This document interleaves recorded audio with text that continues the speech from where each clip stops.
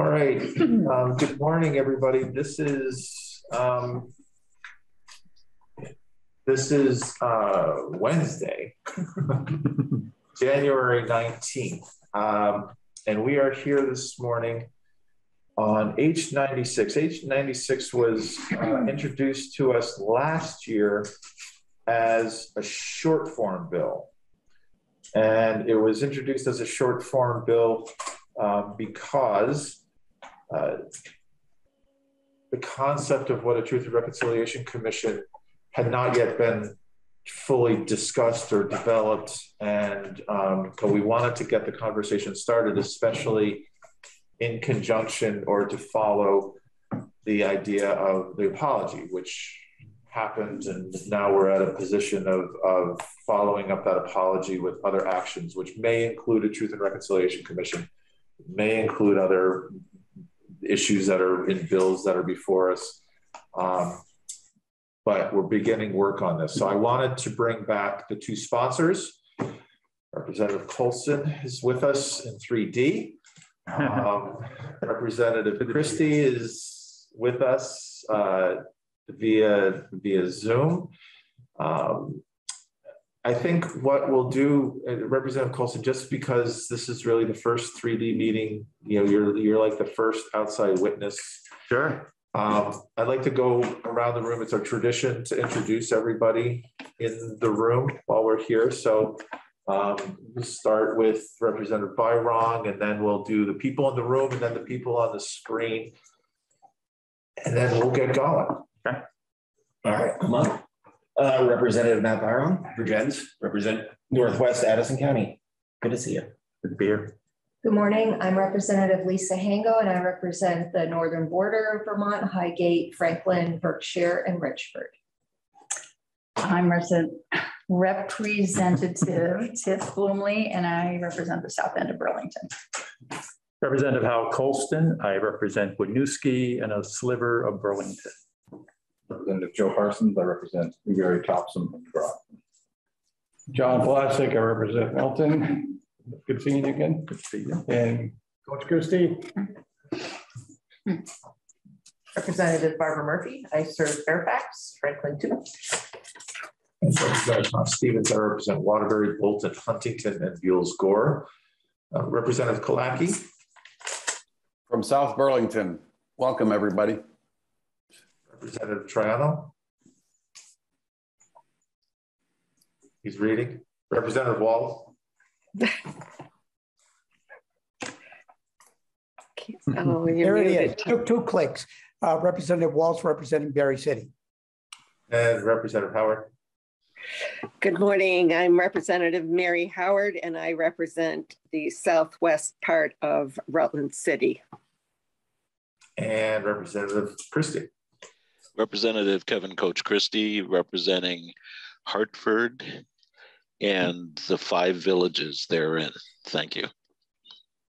Okay, that's a bit of an awkward way of going around the room, but We'll acclimate. I think, yeah. I think the difference between us, you know, before times and Zoom times is simply that um, in Zoom, everybody's already identified, but here we are just in the room. So, um, so welcome Representative Colston. If you'd like to just, um, as a kind of a sponsor, co-sponsor with Coach Christie, if you, if two of you can just take us through kind of a reintroduction to what your vision of this bill is. Sure. And then we'll have, um, uh, we do have a version, an amendment to the short form. And, and the attorney, uh, Damien is here with us to walk through it. Great. Well, thank you for, for having me. Um, and as the Chair Stevens stated, um, this bill started out as a short form bill. And the intent um, was to be able to uh, eventually stand up a Truth and Reconciliation Commission. Um, in its earliest uh, design, the, the thought was to have a development task force that would explore what this might look like, make recommendations for future legislation. But once um, the bill came to this committee, there was a, a concerted effort to, to really look at, well, what, what would it take just to stand up the commission? uh, as opposed to going through uh, extra steps, time, and resources.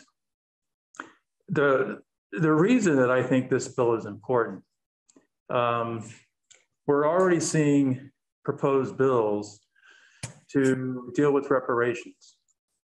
And even in Burlington, there's uh, some strong efforts underway to deal with reparations with regards to chattel slavery.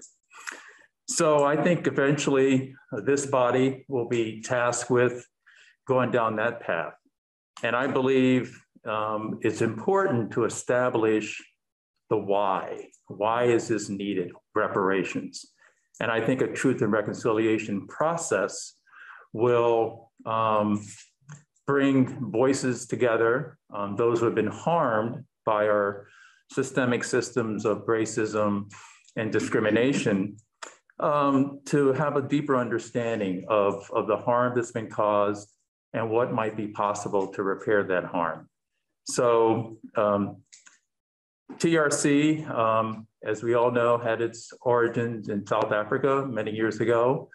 And since then, many countries and here in, in the US, states and even cities have taken on truth and reconciliation processes. So that was really the intent of this bill is to um, establish kind of a baseline of understanding of, of, of why um, reparations is an important thing to consider. And I think for people to get their their their their heads wrapped around this, I think a TRC process will will get us there. When um, the one word that always hangs up is truth. Mm-hmm. what does it mean to determine one's truth?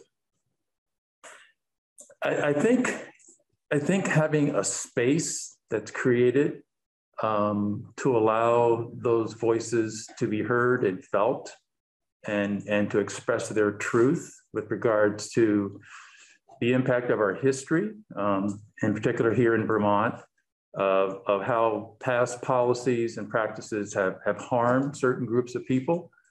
And I think it's, it's certainly important for the oppressed to share that, but in but more importantly for the oppressor to hear and feel and understand what was done. So so that truth becomes i think that that that kernel of of of hope in order for us to do something different and to do something to to reconcile to repair to to bring us together as as vermonters to to move forward the and we'll hear how um, the the draft you know, mm-hmm. plays out. But you did mention that there's a you know there's two there's a bunch of parallel paths it seems that's developing, which is one is a one is a Truth and Reconciliation Commission, one might be reparations, one mm-hmm. might be discrimination laws that we've taken testimony on already this year. When um, do you view them to be linear processes? Like, do you have to have one before you have the other? Or do you view these things just constantly working in, in balance? I, I, I really think it's the, the latter. And I think that um, when, when our uh, constituents start speaking out and, and asking and demanding that we take action. Um, I don't think it's wise to, to postpone that, but to um, understand how that can hopefully support this effort of a Truth and Reconciliation Commission um, so that we can all understand how these all are connected and can take us forward if we do the work. Okay. Um, Representative Christie, do you have um, words you would like to share that would complement Representative Colston? Uh, I, I think Representative Colston did a, an incredible job uh, prefacing, you know, the discussion. Uh, the only thing I'd like to add is uh, a tale uh, to the uh, constituent piece. Uh, last night, fairly late, I was on a call uh, with several uh, constituents uh, from the BIPOC community. And a number of our BIPOC brothers and sisters in the state feel that yesterday wasn't soon enough to start this, this, this discussion. Um, and growing a little weary of being patient. Um, and as you can imagine, after 619 years, uh, you know, patience can run a little thin. Um, so that would be the only addendum that I would add to, uh, you know, our discussion. Uh, and it isn't in a mean spirited, you know, sense, you know, of of the word. It's like, come on, let's get moving. You know, we've heard it'll take time for a long time. So um, that was where the uh, uh, the conversation uh, ended last night, uh, and I think that we're on the right path. Uh, and I hope that we can come up with a uh, proposal from your committee that will move us forward. So thank you very much. And I really appreciate the attention that House General is giving this work. Yes, sir. if I could add, uh, Representative Christie's um, comments reminded me of, uh, of, of, some words from civil rights activist Fannie Lou Hamer, who once said, we're sick and tired of being sick and tired. so how do we move forward mm. and begin this healing process? Uh, I think I appreciate you coming in and, and re and you know restating the you know the mission of the bill.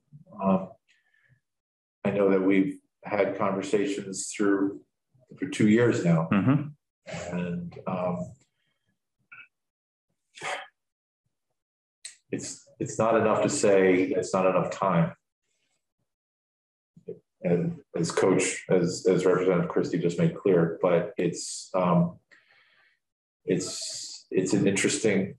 I think when we hear when we hear this draft, you know, we'll hear the problem that we're trying to solve mm-hmm. very clearly. Mm-hmm. So I thank you for for reintroducing the bill. You're welcome to stay while while the uh, while Damien uh, does a walkthrough of the bill, and um, and then we'll take questions after that and have a you know quick discussion, and then we'll see where we go next. Mr. Chair? Yes. Um, uh, before we uh, jump off uh, back to our respective uh, committees, um, if I could just add uh, before we get started, for those who haven't been uh, directly working in the subcommittee with House General, I'd like to thank expressly um, Chair Stevens, uh, Representative Bluemle, and Representative Killacky, who've been working, oh geez, overtime, you know, on trying to help formulate this draft. Uh, there's been a lot of research uh, that went into this. Uh, they've had um, interns doing work. Uh, the Council of State Governments, you know, has helped all of us in preparing, you know, this draft with uh, uh, Attorney Leonard and also our Human Rights Commission executive director was actively involved in putting uh, this document together.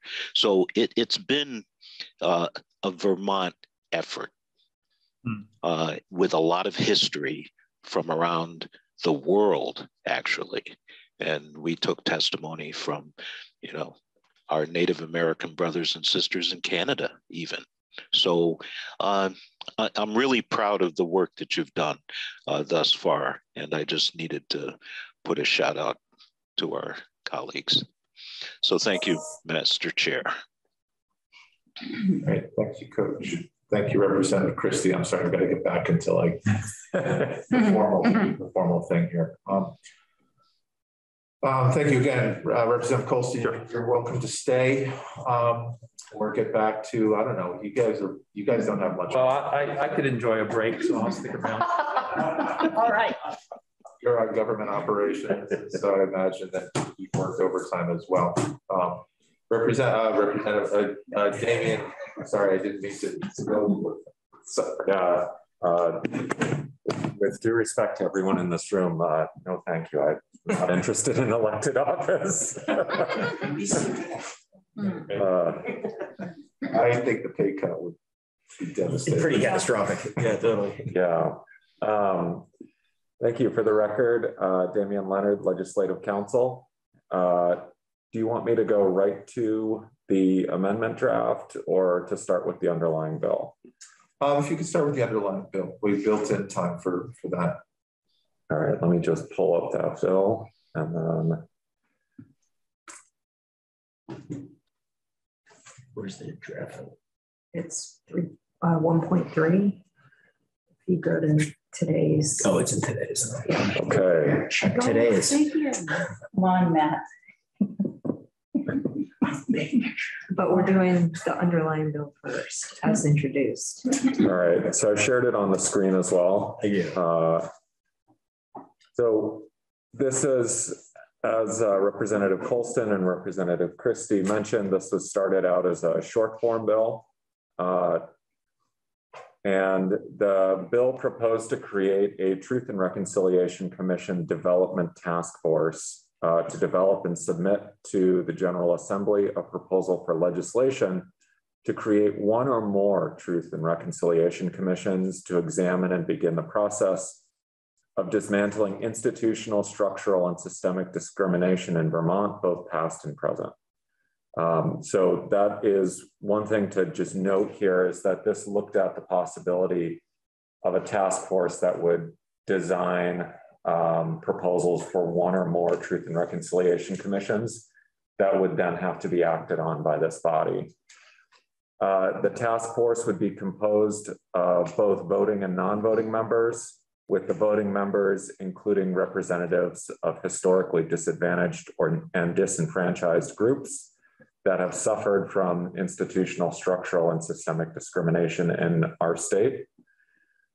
Uh, and then the non-voting members would have included legislative members. And the reason for this was to uh, ensure that the voices at the table uh, who had a vote and the final proposal put forward represented the groups that the Truth and Reconciliation Commissions were designed to help begin the process of uh, hearing about the discrimination suffered both past and present, but then adding in non-voting legislative members so that there was a voice and champions within the building here who had been participating in the process uh, and bringing their knowledge of sort of the legislative process to the table there to help inform the conversation and then also being able to bring uh, their participation in that conversation back into the building for when we develop the legislation. So that was the underlying proposal. Are there questions on that?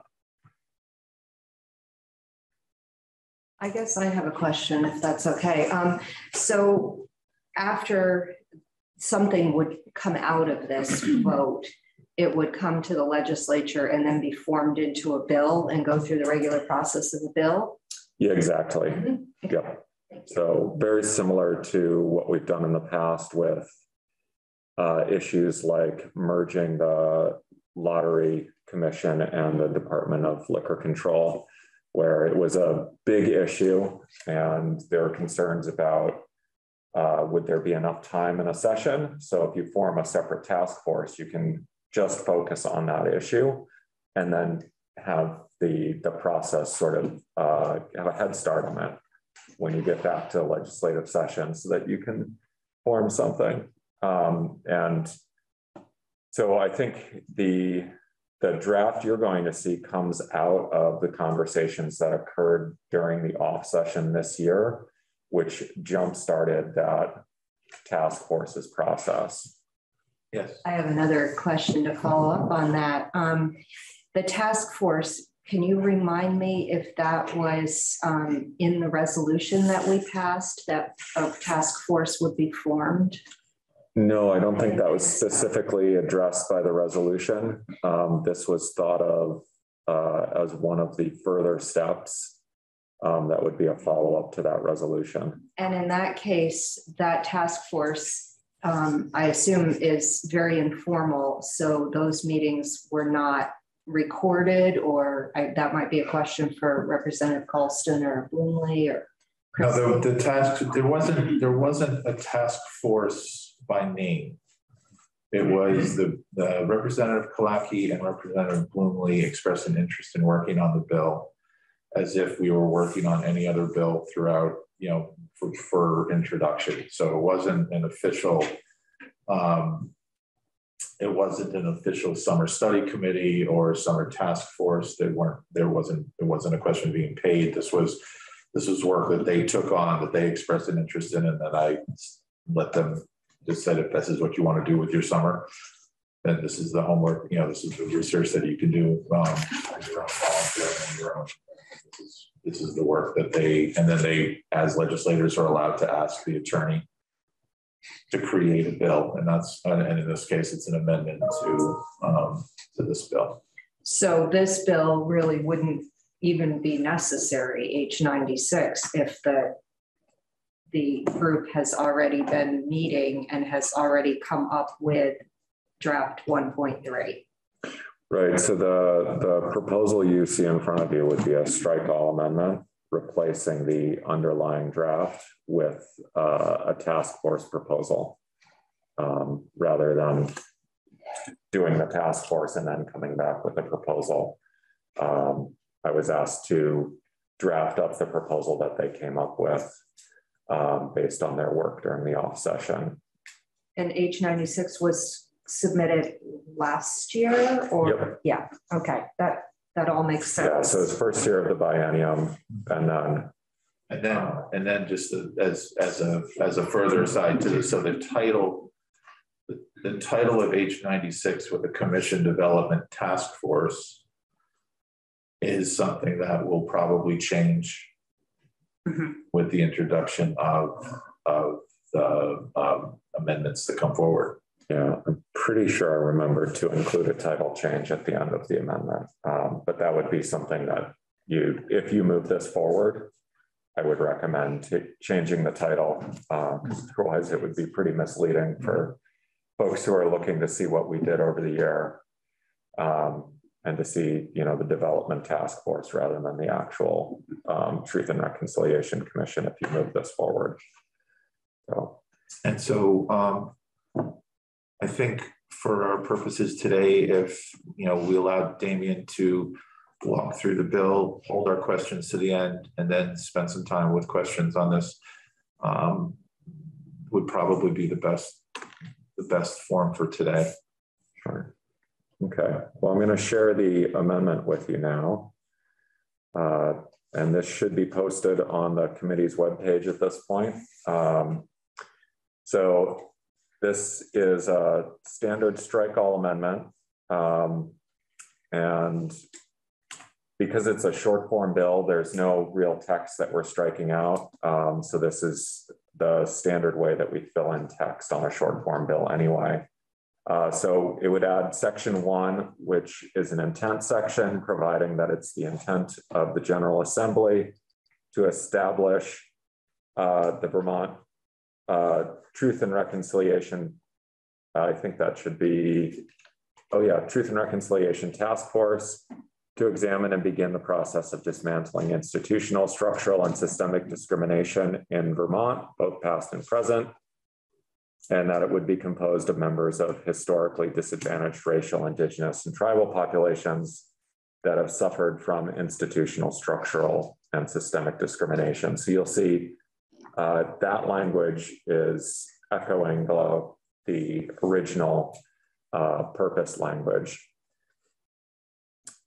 section two creates in a permanent statute uh, because this will be going on for several years rather than just for one summer. Uh, this adds chapter 25 to title one, uh, and it would be the Truth and Reconciliation Task Force. Uh, section 901 uh, of that new chapter creates and establishes the task force as a body corporate and politic to be known as the Vermont Truth and Reconciliation Task Force to carry out the provisions of this chapter. This is standard language that we use when we're establishing an independent subdivision of the state. We use this language for uh, the Housing and Conservation Board, the Student Assistance Corporation, et cetera. Um, so this is establishing it as an independent body of the state. The Truth and Reconciliation Task Force is constituted a public instrument, instrumentality exercising public and essential government functions, and the exercise by the task force of the power conferred by this chapter shall be deemed and held to be the performance of an essential governmental function. Again, this is the boilerplate language that we use to establish these bodies. The subsection B describes the 14 members who are currently proposed to be members of the task force. Uh, this is something that uh, is definitely uh, a, a, policy question to be discussed by the committee if you move forward. Who would be on the task force? How many people should there be? The current proposal is for 14 members, including the executive director of racial equity or designee, the executive director of the Human Rights Commission or designee, and 12 members to be jointly appointed by the governor, the president pro tem of the Senate, and the Speaker of the House.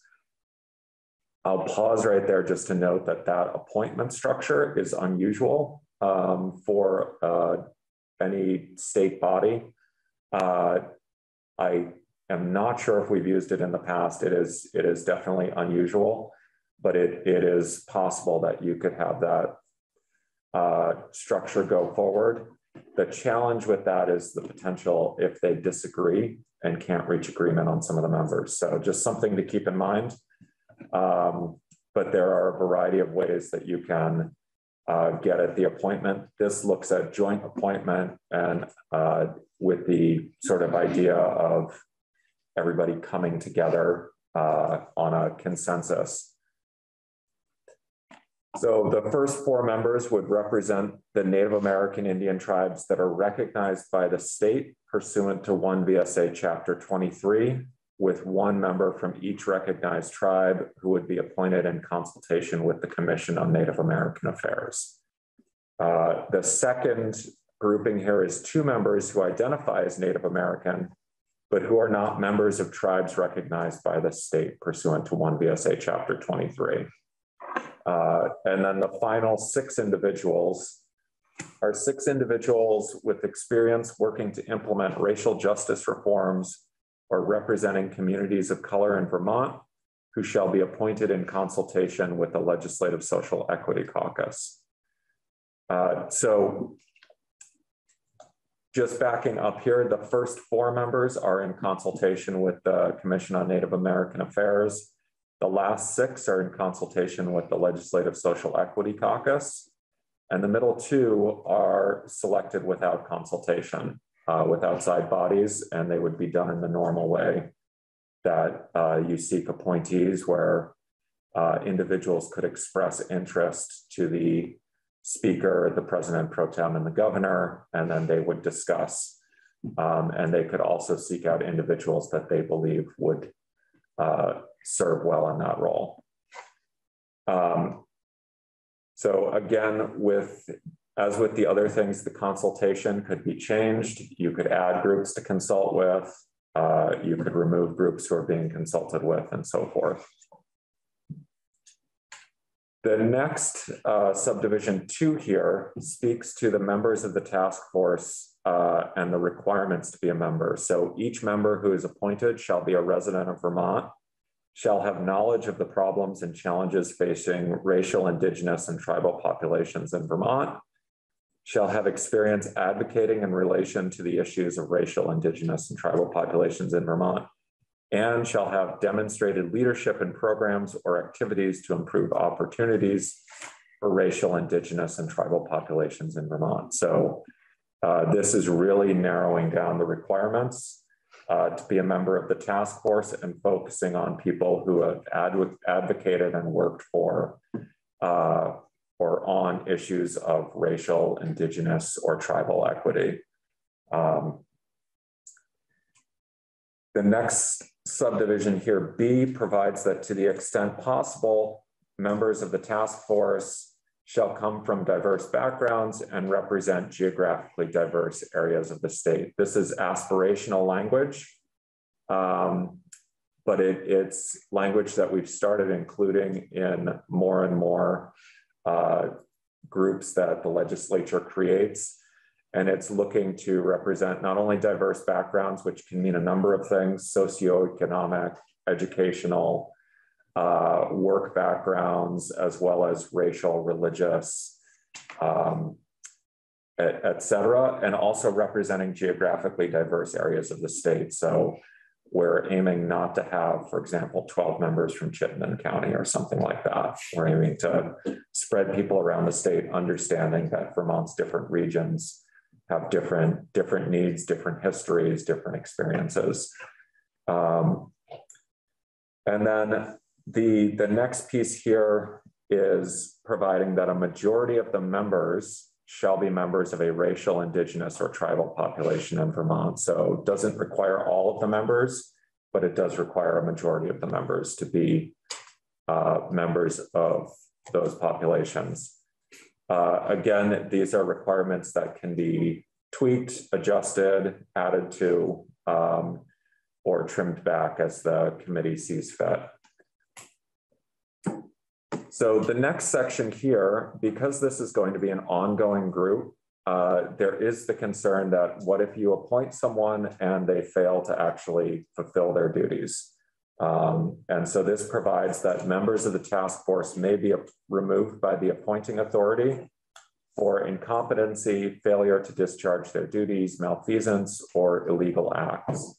So really what we're looking at here are uh, the, the first two deal with uh, how well they're doing their, their job as a member of the task force. And then the second two are looking at are they engaging in inappropriate conduct outside of their work in the task force? Um, for example, it could be harmful to the credibility of the task force if one of the members uh, was uh, convicted of a felony while serving on the task force, and then you would have a public trust issue. So at that point, um, however unlikely that is, you would want to have the authority to remove them and then replace them with someone else um, to avoid those concerns. Uh, and this is similar language to what we use for uh, state boards where people are appointed for multi-year terms. Uh, and then what this is doing is it's really narrowing the causes for removal. So you'll notice what's not included here is that the appointing authority disagrees with a position that that individual is advocating for on the task force. Um,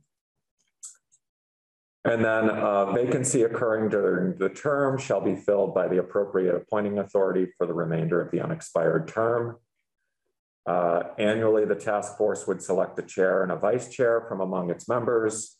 Uh, this allows the task force, if, for example, someone serves as a chair for a year and then uh, is worn out from that work, they could step down and someone else could step in to fill that role.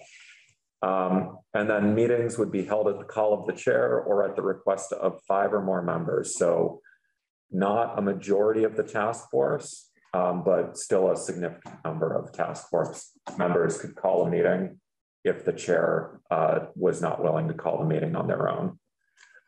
And then a majority of the current membership would constitute a quorum. So you need eight members based on this current draft. Um, but then actions could be authorized by a majority of the members present and voting at a meeting. Uh, and that's fairly standard uh, language for bodies like this and then a requirement that the task force meet not less than 10 times per year. Um, so this is looking for them to be meeting on an almost monthly basis during their existence. uh, and nothing prevents them from meeting more often than that. Uh, so you'll notice here uh, in subsection F, uh, we've not withstood the standard per diem language, and we're providing that members shall be entitled to per diem compensation of blank amount. Uh, the feeling and drafting this was that they should be entitled to more than the $50 per day because working on a truth and reconciliation commission involves a lot of uh, emotionally uh, and mentally difficult work, and they also involve a lot of work outside of the official meetings. Uh, but the uh, when we were working on the draft, there wasn't a number that folks were ready to settle on. So this is left blank and just highlighted as something that for the committee to consider uh, and come up with an alternative amount or come up with an amount, excuse me. Um, and then plus reimbursement of expenses for attendance at meetings. Uh, and this is something that uh, the committee will probably want to take testimony on. There are different models for these task forces. Uh, some of the task forces constituted in other places are professional, where you have full-time members, but a smaller membership. And others are citizen boards where it's broader membership like this proposal, and they're, they're compensated on a per diem basis uh, for their, their work. So these are different models you could consider and you could look at what the per diems are from some of the different models. Section 902 creates the powers and duties of the task force. Subsection A is the duties. Uh, the first is to conduct research necessary to determine the current status of the historically disadvantaged racial, indigenous, and tribal populations, including qualitative and quantitative examination of data related to things like business ownership, household assets, income and debt, housing, land ownership, employment, education, healthcare, access to benefits, and access to wealth and capital. This is a broad list of topics to research, uh, certainly something for the committee to look at uh, as you're figuring out whether this is appropriately broad. Is it too broad? Is it too narrow? Um, or are there things that are left off this list? Um, but this was the list that was come up with in the initial draft. Uh, the next is to develop and implement a process for truth and reconciliation to address the institutional, structural, and systemic discrimination experienced by the historically disadvantaged populations, both past and present. And this is recognizing that we, we don't have this process for truth and reconciliation right now in Vermont. Uh, and so step one for this task force is going to be establishing that process. How are we going to conduct our meetings? How are we going to conduct interviews? How are we going to reach out to these populations? How are we going to dig into state records and state archives um, in order to determine, uh, you know, the um, the sort of documentary facts surrounding uh, historic practices within the state that have affected these populations and so forth. Number three is to promote, implement, and coordinate programs and activities to create and improve opportunities for or to eliminate disparities experienced by members of the historically disadvantaged populations. So this is looking at uh, the reconciliation part.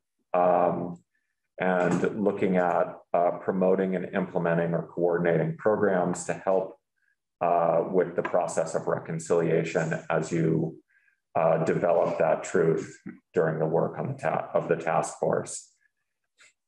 The powers for the task force to carry out their duties. Um, so, one is to adopt rules pursuant to the Administrative Procedure Act as necessary to implement the provisions of this chapter.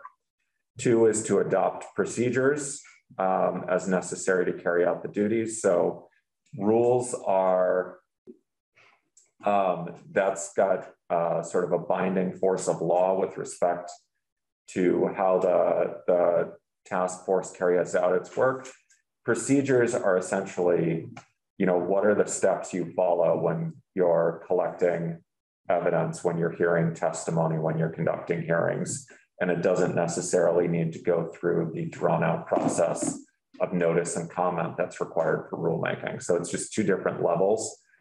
Uh, third is to establish and maintain a principal office. Uh, fourth is to meet and hold hearings at any place in the state. Uh, five is to issue subpoenas uh, to compel testimony or access to a production of records, documents, and other evidence or possible sources of evidence or the appearance of persons, provided that the subpoena is issued pursuant to an investigation commenced by the task force pursuant to this chapter, and that there is reasonable cause to believe that those materials or the testimony are relevant to that investigation. This language is drawn from the Human Rights Commission. Uh, and what this does is it prevents the task force from being stonewalled by uh, a state agency or another entity that doesn't want to uh, share records that may be related to uh, an issue it's it's causing. Um, a lot of the records that they're going to be dealing with are potentially sensitive, uh, and so this allows them to get access to those records. It also creates a process for uh, a body to say, no, you've gone too far, and then to have uh, a neutral party in the courts adjudicate uh, whether this is an appropriate request for records. So um, this is uh, this is something that is available to quasi-judicial panels uh, in the state. And again, it's available through the judicial system and is something that's used in discovery and, for example, a civil case. Uh, you might issue subpoenas for records that are being withheld or for testimony when someone's not willing to provide that testimony. Um, this is uh, this includes notice that the individual has the right to contest the subpoena, uh, and then the initial uh, right to contest the subpoena is before not less than half of the task force, and then that they can bring that uh, appeal of the subpoena to a court, and then that this would be enforced in the same way that a subpoena under our Administrative Procedure Act is enforced. So that sets out existing procedures for a state entity that has subpoena power to bring a subpoena and then attempt to enforce it and have a court determine whether the subpoena is appropriate or whether it should be quashed. Uh, the next uh, power is to consult with local, national, and international experts on issues related to truth and reconciliation and restorative justice. Uh, so this is acknowledging that uh, we're following in the footsteps of other bodies that have been doing this work, and this allows the, the panel the power to consult with those experts as it develops its process and also as it moves through its process and develops proposals uh, for the legislature. Uh, uh, the next power here uh, is almost doesn't need to be said. It's to hear testimony from members of historically disadvantaged populations, uh, members of the public, and persons with knowledge of institutional, structural, and systemic discrimination experienced by uh, those populations. And this is this is really the core mission of this body. Um, the next is to study, research, investigate, and report on the impact of state actions in relation to the historically disadvantaged populations. And if the task force determines that the actions constitute institutional, structural, and systemic discrimination against uh, a population or populations, regardless of whether it was intentional or, uh, or adversely impacted the population, the task force can propose legislative or administrative action to either the General Assembly or the governor uh, to remedy the impacts on the population. So this is part of the reconciliation process uh, for the panel here. So if they determine that there was uh, a particular action uh, that was discriminatory and affected a particular population, they can propose uh, some sort of action to remedy that, whether that's uh, something that's within the governor's executive authority or something that requires legislation, uh, and then bring it to the appropriate body. The next couple are based on their powers as an independent state entity. So the first is to enter into cooperative agreements with private organizations or individuals or with any agency or instrumentality of the United States or this state to carry out the provisions of this chapter. Uh, so this allows them to uh, work with consultants, to work with individuals who are uh, experienced uh, in this work, um, as well as to work with, for example, a body like the uh, the EEOC or the Human Rights Commission or uh, any number of other private organizations that work on issues of uh, racial equity or racial justice uh, that might be able to help them in, in uh, fulfilling their mission. Number 10 is to make and execute legal documents necessary or convenient for the exercise of its powers and duties under this chapter. This uh, goes along with there being an independent uh, entity with the authority to carry out their mission. Number 11 allows them to hire consultants and independent contractors to assist the task force. And number 12 is to take any other actions necessary to carry out the provisions of this chapter. This is catch-all language um, that basically says if there's something that's necessary to do your job uh, and to carry out the requirements of this chapter, such as the next section, hiring an executive director, uh, you can take that action. Uh, we don't have to enumerate it in here specifically. Um, but it also is limited that it has to be necessary to carry out the provisions of the chapter. So they can't do something that you know is, is not related to their mission as the Truth and Reconciliation uh, Task Force. So uh, section 903 gives the task force the authority to appoint and, and requires them to appoint an executive director who has to be an individual with experience in relation to racial justice or advocating on behalf of historically disadvantaged groups.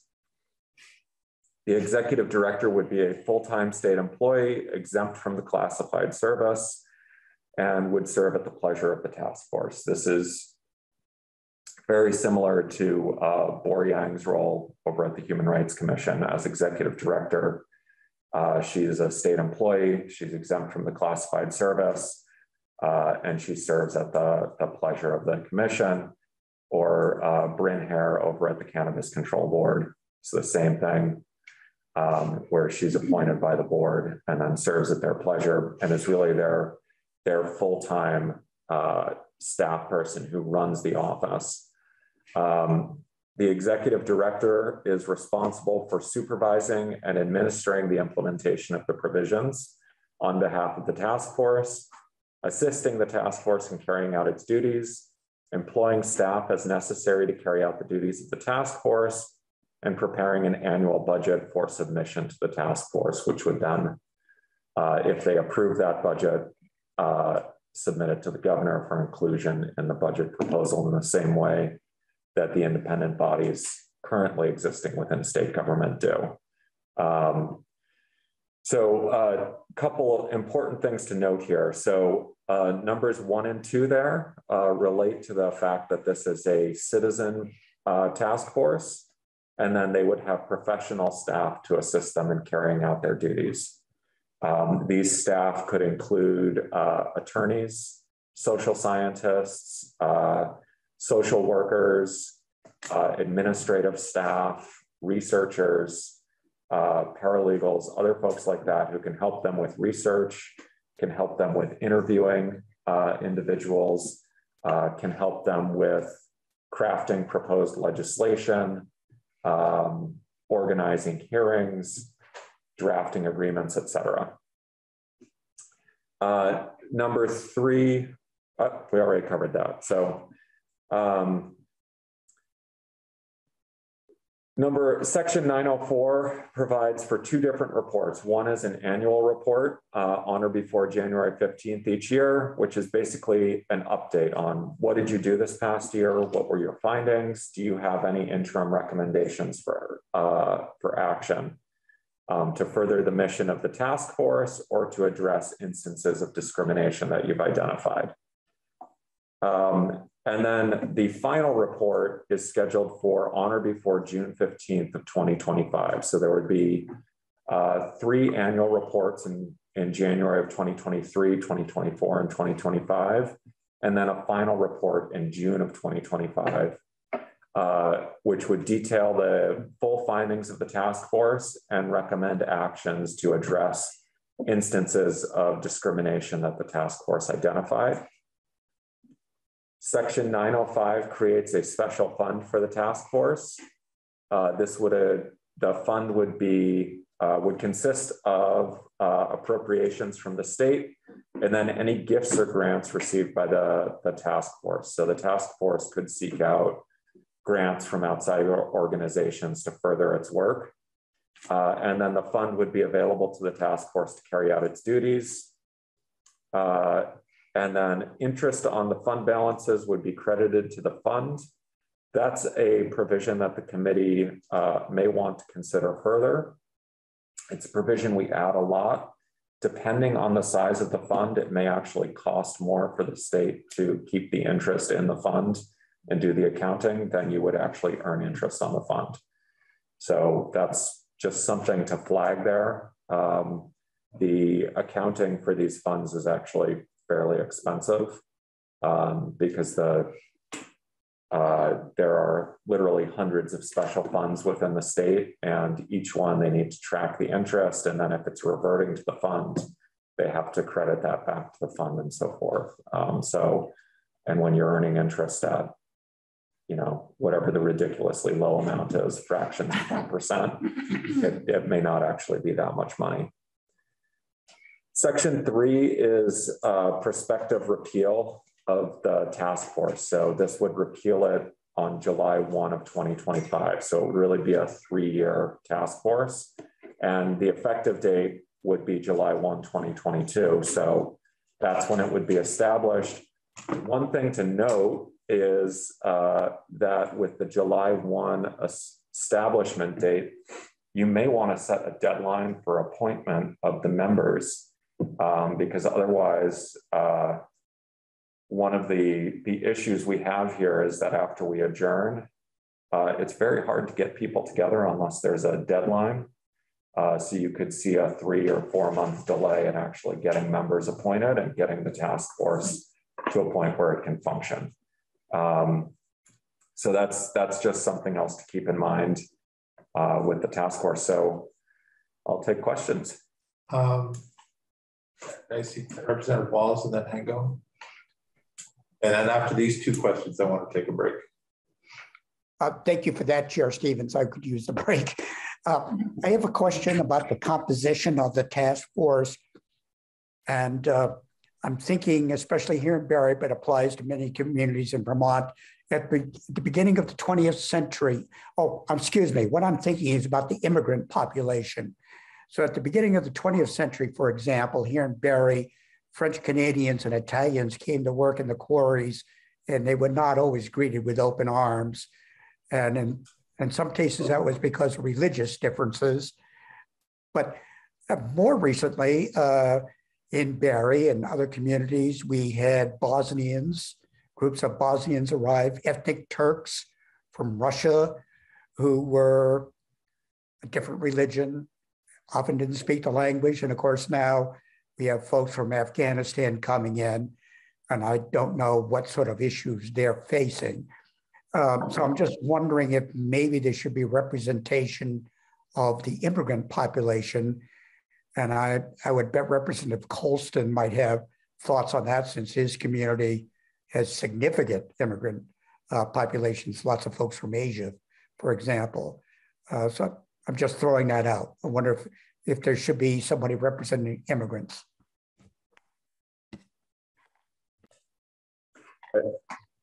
So I think this is a better question for uh, either Representative Christie, Representative Colston, or uh, Representative Bluemle or Killacky.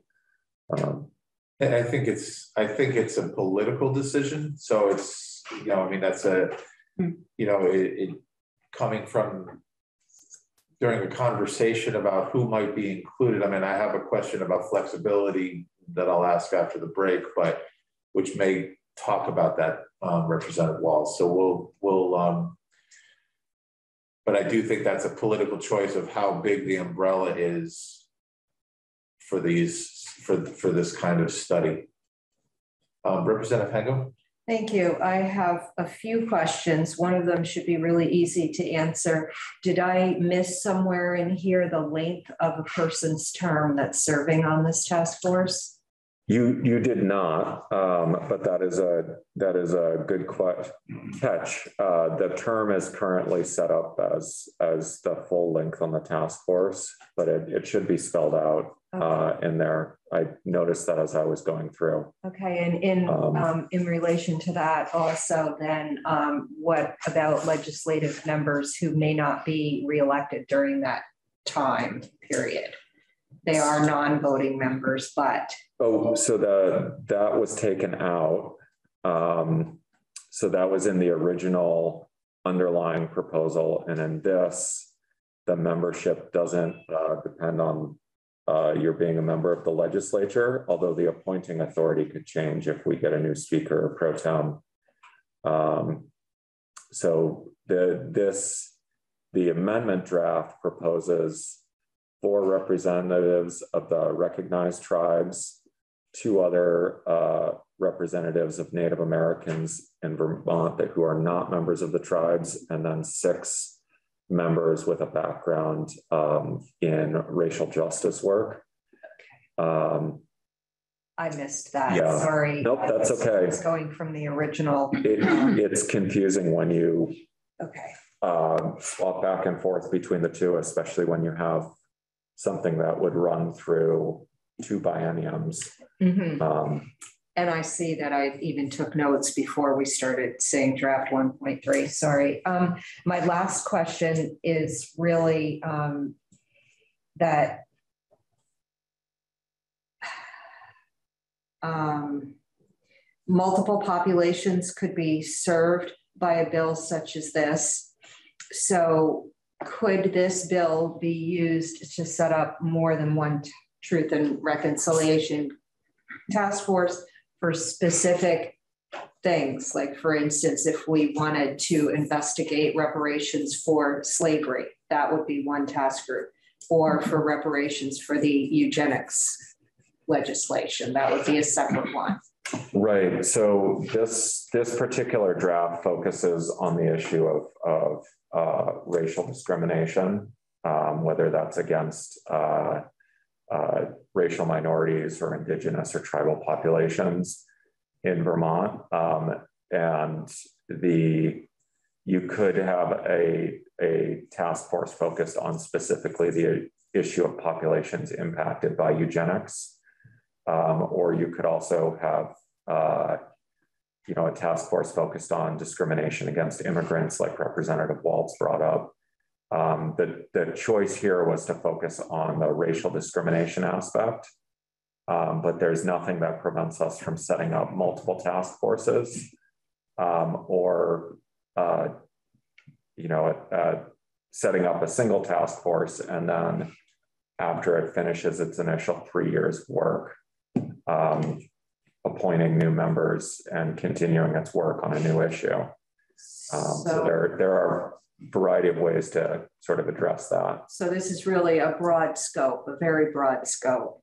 Well, um, so it's it's this is narrowly focused on racial discrimination, and it's it's not getting at the issues of, for example, uh, the impact of eugenics on disabled populations in Vermont, or the targeting of discrimination against uh, Italian immigrants in Barre uh, or French Canadians in Vermont um, except to the extent that they may, that some of those individuals may be part of families that also belong to a group uh, that would be represented to in, in this task force here. So this is strictly racial or indigenous and tribal populations, yep. which could have been affected by any number of incidences throughout history in Vermont. Um, one last question, because this is something we could debate for hours. Um, I'll switch gears. Are there other examples? You mentioned Bor Yang's position at the Human Rights Commission. Are there any other examples of an office like this that maintains an office space with a paid executive director, paid staff, um, and whatever else we would be paying for? Sure. Uh, so Green Mountain Care Board, the uh, Vermont Housing and Conservation Board, um, Vermont Student Assistance Corporation, um, the and then you know you can look at also other quasi-independent boards like the Cannabis Control Board, where you know that that's an independent body within the executive branch. But Is the Climate Council one also? Uh, yeah, the Climate Council is a little different, okay. though I think. But um, you know, I think like the Green Mountain Care Board, they have specific uh, authority. The Housing and Conservation Board, they have a specific. Is probably even a better one because they have a specific mission uh, related to um, the development of housing and the conservation of land in Vermont. Um, and they have their separate budget, their separate legal authority, and so they're they're sort of they are they operate within this building, but they're also independent from both this building and the fifth floor um, in carrying out their mission. Thank you. So. All right, I think we'll stop there. I think um, Representative Hango, thank you for the last question, especially um, the flexibility or, or your penultimate question, because the flexibility of what this is is uh, question. I'm sorry, Representative Bluemle, you had your hand up for a minute. Um, I, I think, I mean, you just got to it. In that, I think that as um, we talked with any number of, of people, I think that they're, you know, who this process addresses and um, and how um, and how it the actual task force functions um, is you know for this committee to really debate and also for the task force then to determine too, because um, I, you know, it may well be that you have a task force that then kind of breaks into separate groups to pursue um, uh, different topics, and that you know that. So it, it's it's all kind of debatable, and there isn't one right way. Um, that's partly our job and partly the task force job, as I understand it. Okay, we're gonna um, stop work on this bill right now. Uh, take a seven or eight minute break till 10:30. Thank you, Representative Christie and Representative Colston for guests uh, for guesting here today and visiting. And we will uh, be back at 10:30 to take up um, conversation on H329. We have um, Susanna Davis with us to talk about that particular